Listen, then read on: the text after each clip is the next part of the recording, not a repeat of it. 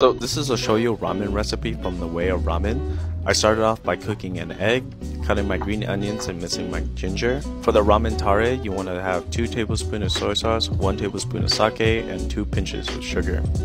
While you're waiting for everything else, make sure you dip your egg into that tare so it gives that brown color. Here we're going to prepare the aroma oil by cooking the green onions and ginger. After that's done, make sure you strain and you keep the oil along with the leftovers, which we'll use for toppings later. I added a little bit of the ramen tare to give that caramelization on the spam.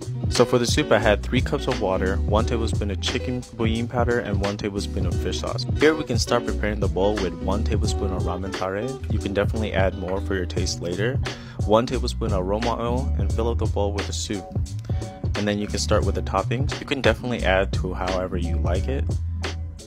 And don't forget to add the green onions and ginger. And voila.